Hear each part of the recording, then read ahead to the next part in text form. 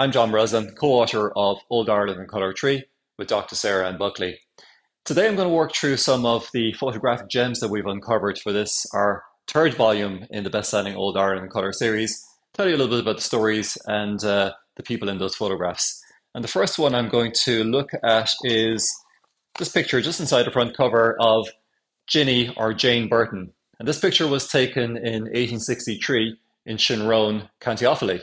And um, she was actually in her 80s here. We know from her um, records, uh, her birth, marriage, and death records. Well, the death records showed that she was uh, in her mid 80s when she died a few years later. So we know that she was born in the 18th century, somewhere around 1780. So again, well before the 1798 rebellion, she would have lived through the black years um, from 1845 onwards. Uh, it's a fascinating picture of of Ginny or Jane in her paisley shawl, and I think what's also interesting is that up to, up until this point, when the picture was restored and colorized, this was probably the only picture of of Ginny, um, which came from an old photo album which I found online. This isn't the original, in case you're wondering why I have my fingers all over it. It's a copy. Um, but you can see that the picture existed in just a couple of centimeters by a couple of centimeters up to this point in time. There's some damage on it, it's fading. Uh, but thankfully, there was some information about Ginny and her family, which we were able to find more information um, about her and her life from that. So that's the first picture. The second one I want to show you is a picture of Maud Gonne um, in her Paris apartment in a place called Passy. And you can see Maud here with her dog. The dog is a, a Great Dane whose name is Rory.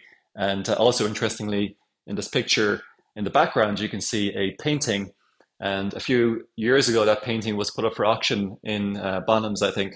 It was actually a gift given to Gonne by her lover, Lucien Millevoye, and it was in the family for many years. So I was able to use the colours of that painting when it was auctioned. It's um, Venus and Cupid by a French painter to actually apply those colours to this colorization. Next picture is from 1925 or 1926 of Three Girls in Drogheda, a lovely photograph taken by Clifton Royal Adams. And uh, the last one I'm going to show you is this fascinating picture, which is uh, what was called post-mortem photography, where people took photographs with their loved ones after they died. So they basically posed the person in a particular um, lifelike setting and took took pictures with them, and you can just see the the face um, on the woman here as she looks at her probably her her departed mother. So there are a couple of the pictures from our new Old Ireland Colour 3. It's available now to buy in Eason's bookstores and online at easons.com.